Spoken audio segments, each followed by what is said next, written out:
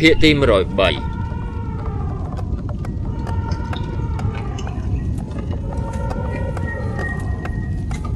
សតវត្សទី2ជាសម័យសន្តិភាពពេញទីរបស់មហានគរខ្មែរ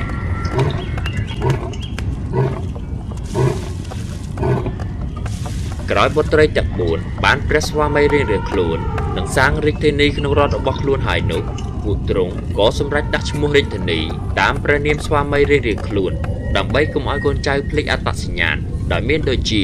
ទី1រដ្ឋមេតាល័យមានរាជធានីឈ្មោះថាលួងរង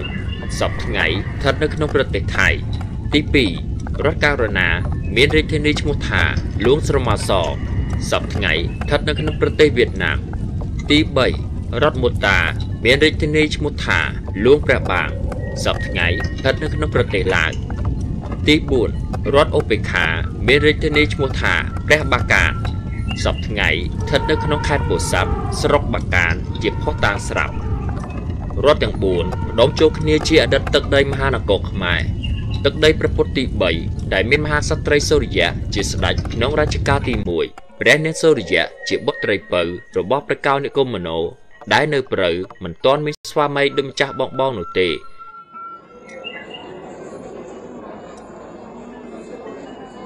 តោះយើងចូលទៅមើលអង្គប្រជុំសាវនាការព្រះនាងសូរិយៈបន្តិចទៅមើល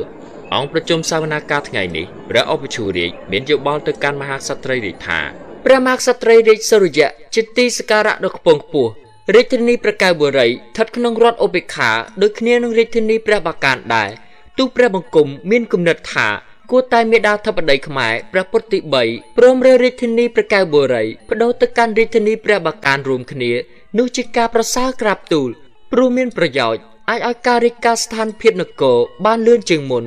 ហើយបាននៅជួបជុំព្រះញាតិវង្សជាមួយព្រះនាងឧបេក្ខាដែលជាបុត្រព្រះកៅរាជផងដែរក្រាបទូលហឹមគំនិតរបស់អបជូរាជមានយោបល់ល្អព្រោះព្រះមេដាធិបតីខ្មែរទ្រង់ក៏ចង់ឲ្យរដ្ឋឧបេក្ខាមានរាជធានីតែមួយរួមគ្នាដែរជាពិសេសបើស្ដេចត្រៃម្ចាស់បងឧបេក្ខាមានបុត្រនោះព្រះមេដានឹងមានព្រះចៅនៅចិត្តកំដរព្រះមេដាមិនខាន បានមហាក្សត្រីនឹងប្រកាសរាជសាររើរាជធានីប្រកែបុរីចេញទៅកាន់រាជធានីព្រះបាកានទាំងអស់គ្នា ចាប់ពីពេលរាជសារនេះចេញជាផ្លូវការទទួលរាជបញ្ជាក្រាបទូលការរើរាជធានីក៏ប្រព្រឹត្តឡើងម្ដងទៀតតែម្ដងនេះមានបរោះបរោះចូលរួមរើជាមួយហើយមិនកំសត់ដូចរើលើកទី1ពីគោកធ្លប់មកប្រកែបុរីសិតតែព្រះនាងព្រះនាងទាំងអស់នោះទេ